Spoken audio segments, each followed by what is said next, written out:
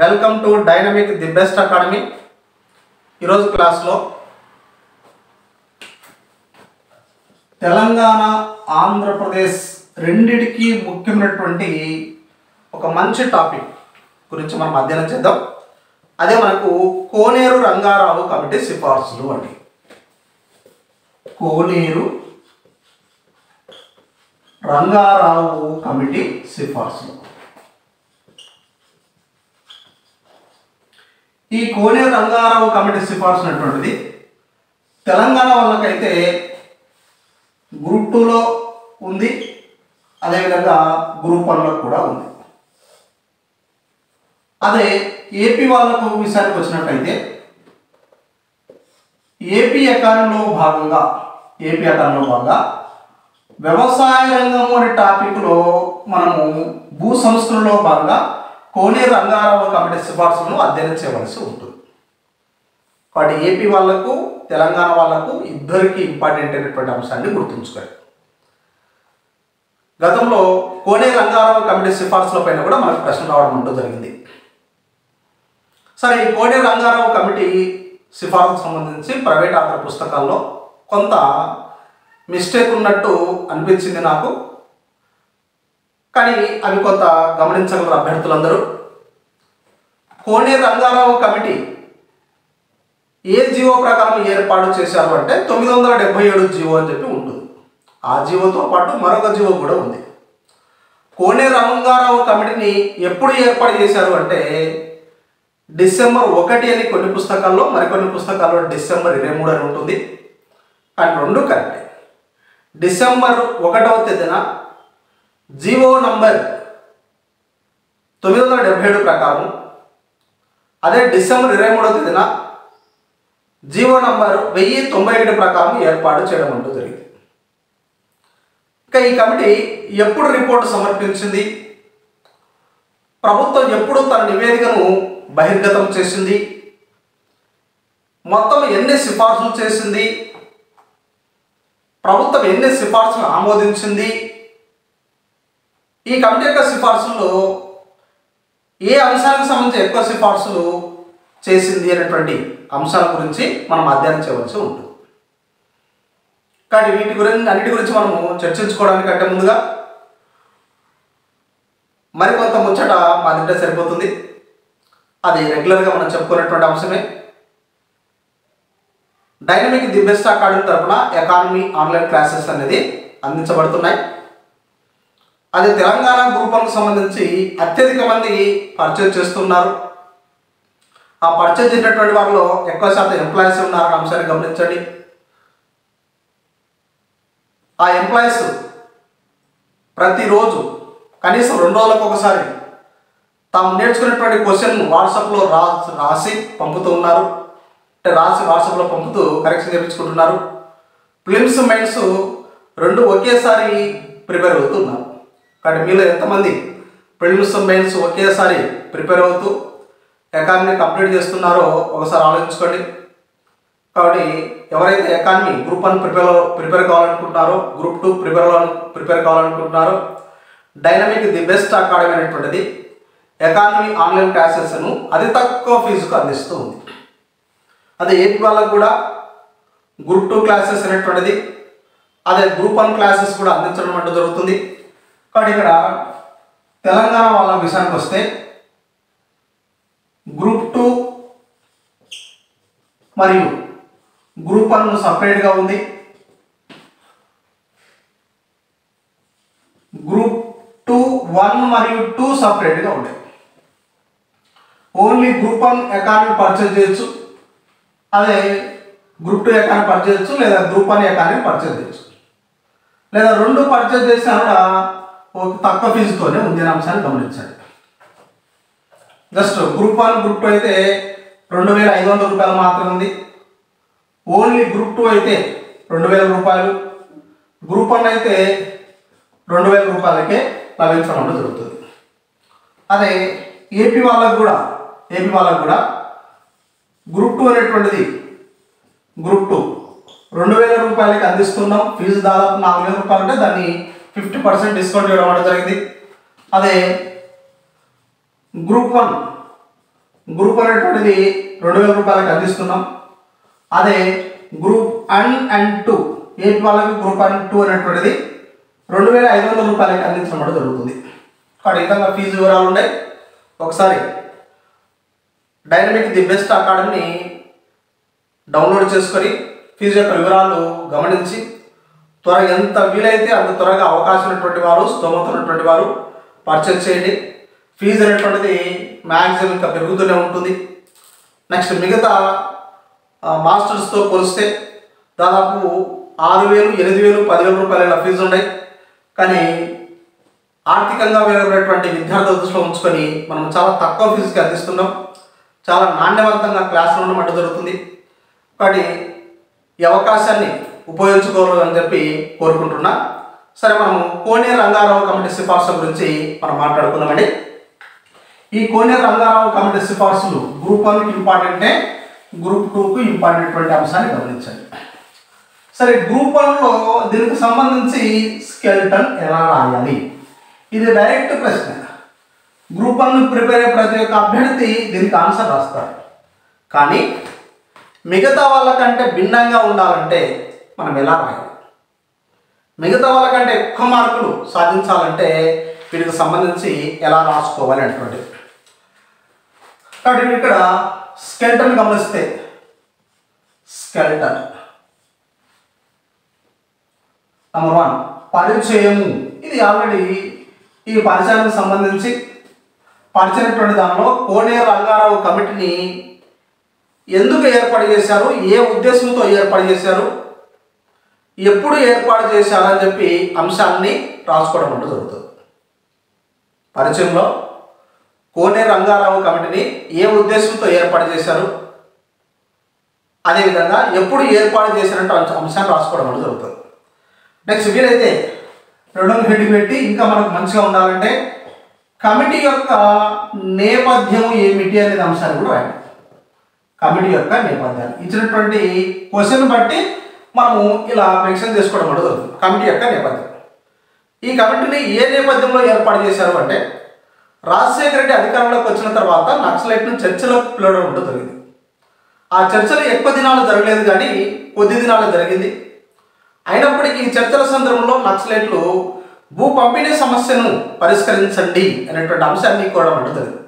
కాబట్టి ఈ నేపథ్యంలో ఈ కమిటీ ఏర్పడేశారు ఈ కమిటీని రెండు వేల నాలుగవ సంవత్సరం డిసెంబర్ ఒకటవ తేదీన తొమ్మిది వందల డెబ్బై ఏడు జీవో ప్రకారం అదేవిధంగా రెండు వేల నాలుగు డిసెంబర్ ఇరవై మూడవ తేదీన వెయ్యి తొంభై ఒకటి జీవో ప్రకారం ఏర్పాటు చేశారు. కానీ ఎప్పుడు ఏర్పాటు చేశారు అంటే రెండు వేల నాలుగు డిసెంబర్ అటువంటి అంశాన్ని గుర్తుంచుకోవాలి. ఏ జీవో అంటే మ్యాక్సిమం ఈ జీవో అని మనకు ప్రతిపక్షాలు కూడా మనకు చెబుతుంటాయి. తొమ్మిది వందల డెబ్బై ఏడు జీవోను అమలుపరచండి.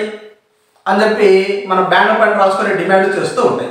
ఇప్పటికి కూడా రీసెంట్గా సిపిఐ సిపిఎం పార్టీలు ఇప్పటికి కూడా కొన్ని రంగారావు కమిటీ సిఫార్సులు అమలుపరచాలని చెప్పి రాష్ట్ర ప్రభుత్వాన్ని డిమాండ్ చేస్తున్నాయి రెండు రాష్ట్రాల్లో. కానీ వెయ్యి తొంభై ఒకటి జీవో అనేటువంటిది డిసెంబర్ ఇరవై ఇరవై మూడవ తేదీన జారీ చేశారు. తొమ్మిది వందల డెబ్బై ఏడు జీవోను డిసెంబర్ ఒకటో తేదీన జారీ చేయడం అనేది జరుగుతుంది. ఈ జీవో ప్రకారము ఇది కోటి రంగారావు కమిటీ ఏర్పాటు చేయడం అనేది జరిగింది ఇక్కడ నేపథ్యం ఏ సందర్భంలో ఏర్పాటు చేశారంటే నక్సలైట్ సందర్భంగా వాళ్ళు డిమాండ్ చేశారు కాబట్టి ఆ నేపథ్యంలో ఏర్పాటు చేశారని రాసుకోవడం కూడా జరుగుతుంది. నెక్స్ట్ కమిటీ యొక్క లక్ష్యాలు. కమిటీ యొక్క లక్ష్యాలు. కమిటీ యొక్క లక్ష్యాలు అనే అంశాన్ని రాసుకుంటాం. ఏ ఉద్దేశంతో ఏర్పడేశారు భూ పంపినటువంటి సమస్యలను పరిష్కరించడానికి సూచనలు చేయమని.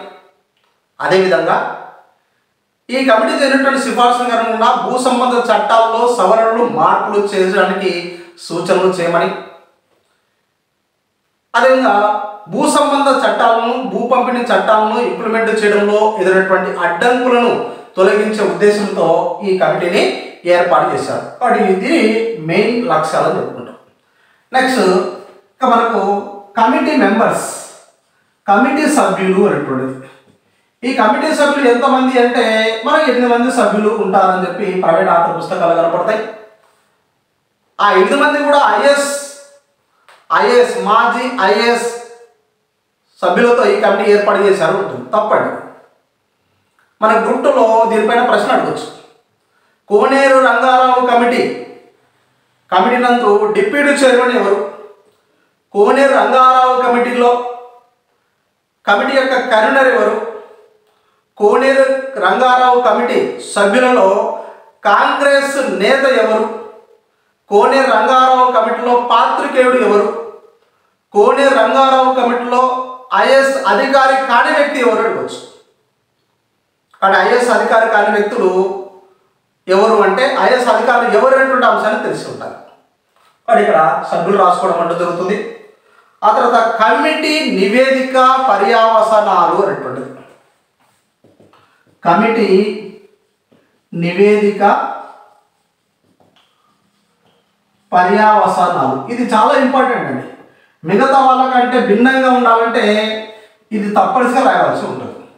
ఇంకా వీరైతే ఇంకా కొంచెం తెలివి తెలివంతుడైతే వీటన్నిటిని తగ్గించుకుంటూ సింపుల్గా ఫస్ట్ పేరులోనే రాసుకోవచ్చు టైం లేకపోతే. తెలియనటువంటి గ్రూప్ వన్ ఆస్పిరెంట్ చాలా తెలివిగా వీటన్ని కలిపి పరిచయంలోనే మనం మంచిగా తెలుసుకోవచ్చు అదే గ్రూప్ వాళ్ళు అయితే ఎనిమిది మంది సభ్యుల పేర్లు గుర్తుంచుకోవాలి. గ్రూప్ వన్లో ఎనిమిది పేరు తప్పనిసరి అవసరం కాదు సందర్భాన్ని బట్టి వాటిని రాసుకోవడం మంచిది. నెక్స్ట్ కమిటీ నివేదిక పర్యవసనాలు. ఎప్పుడు ఏర్పడేశారు రెండు వేల నాలుగు డిసెంబర్లో ఏర్పడేశారు ఎప్పుడు తన నివేదిక సమర్పించింది? రెండు వేల ఆరు డిసెంబర్లో తన నివేదిక సమర్పించింది. నివేదిక సమర్పించింది అంతే నూట నాలుగు సిఫార్సులతో తన నివేదికను సమర్పించింది. నూట నాలుగు సిఫార్సులని కూడా ప్రభుత్వం బహిర్గతపరచలేదు. రెండు వేల ఆరు డిసెంబర్లో. కానీ ప్రతిపక్ష పార్టీలు ప్రజా సంఘాలు ఒత్తిడి చేయడం అంటూ జరిగింది. ప్రభుత్వంపై ఒత్తిడి తీసుకురావడం అంటూ జరిగింది. కోనేరు రంగారావు కమిటీ సిఫార్సును బహిర్గతం చేయండి అని డిమాండ్ చేయడం వల్ల రెండు వేల ఏడు రెండు వేల ఏడు మే ఇరవై ఏడవ తేదీన మే ఇరవై ఏడవ తేదీన ఈ కోడేర రంగారావు కమిటీ సిఫార్సును బహిర్గతం చేయడం అంటూ జరిగింది. అవి ఎన్ని నూట నాలుగు సిఫార్సు చేసింది. పన్నెండు విభాగాలలో పన్నెండు విభాగాల్లో నూట నాలుగు నాలుగు సిఫార్సులను ఇది సిఫార్సు చేయడం అంటూ జరిగింది బహిర్గతం చేసింది తప్ప ఇంప్లిమెంట్ చేయలేదు. మళ్ళీ ఇంప్లిమెంట్ చేయాలని చెప్పి మళ్ళీ ప్రతిపక్షాలు ముఖ్యంగా సిపిఐ సిపిఎం పార్టీలు ఒత్తిడి తీసుకురావడం అంటూ జరిగింది. ఇంకా సిపిఐ సిపిఎం పార్టీలు ఒక అడుగు ముందుకేసి ఈ భూ పంపిణీ సమస్యను భూ పంపిణీ సమస్యల్లో తమ ఎజెండాలో కోనేరు రంగారావు కమిటీ సిఫార్సులు అమలు అనేటువంటి అంశాన్ని కూడా చేర్చడం అంటూ జరిగింది. లాస్ట్కు రెండు వేల ఏడవ సంవత్సరం రెండు వేల ఏడవ సంవత్సరం జూలై ఇరవై ఎనిమిదవ తేదీన జూలై ఇరవై ఎనిమిది తేదీన ఖమ్మం జిల్లాలోని ముదికొండ ప్రాంతంలో జరిగినటువంటి సమావేశంలో ఈ సిపిఎస్ఈ పార్టీ నిర్వ నిర్వహించినటువంటి సమావేశం నందు అల్లర్లు జరిగి దాదాపు పోలీసు కాల్పుల్లో ఏడుగురు మరణించడం అంటూ జరిగింది. వెంటనే ప్రభుత్వం కొంచెం కిందికి దిగొచ్చి కోనే రంగారావు కమిటీ సిఫార్సులో డెబ్బై నాలుగు సిఫార్సును అమలు చేస్తున్నట్లు ప్రకటించడం అంటే జరిగింది. డెబ్బై నాలుగు సిఫార్సును అమలు చేస్తున్నట్లు ప్రకటించింది. అదేవిధంగా రెండు వేల ఏడవ సంవత్సరం ఆగస్టు ఇరవై నాలుగవ తేదీన ఇక్కడ డెబ్బై నాలుగు సిఫార్సు ఆమోదిస్తే మళ్ళీ వెంటనే పద్దెనిమిది సిఫార్సు ఆమోదిస్తున్నట్లు ప్రకటించడం అంటూ జరిగింది. టోటల్ ఎన్ని సిఫార్సులు అంటే దాదాపు తొంభై రెండు సిఫార్సులను రాష్ట్ర ప్రభుత్వం ఆమోదించింది వాటి మ్యాటర్ బట్టి చూస్తే మీకు అర్థమవుతుంటుంది. ఆల్రెడీ గ్రూప్ టూ ప్రిపేర్ అయినటువంటి వాళ్ళు గ్రూప్ వన్ ప్రిపేర్ అవుతున్నటువంటి వాళ్ళు వివిధ పుస్తకాలు చదివినటువంటి వాళ్ళు. కాబట్టి మనకి ఎక్కడెక్కడ మిస్టేక్స్ కనపడుతున్నాయి పుస్తకాలను అంశాన్ని గమనిస్తుంది వాటి తప్పులు లేకుండా రాయడానికి ప్రయత్నించండి. రాసిన కాడికి మిస్టేక్ లేకుండా రాస్తే చాలా మంచిది.